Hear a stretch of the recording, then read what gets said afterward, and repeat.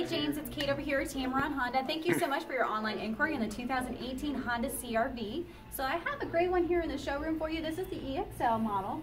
A few things about it, you're going to have your honeycomb design here on the grille, just gives a little bit more ventilation. You're going to have your LED daytime running lights on the side here.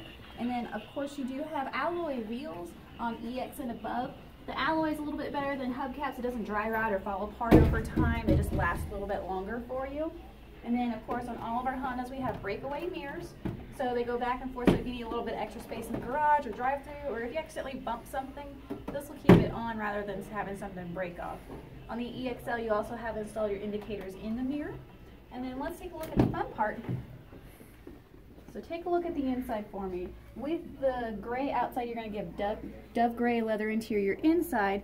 All of your hands-free devices are going to be available on your steering wheel full touchscreen up here, compatible with Apple CarPlay, Android Auto, push button start, and just so much more that I'd love to show you in person. If you would give me a call or shoot me a text, my number is 205-422-8151.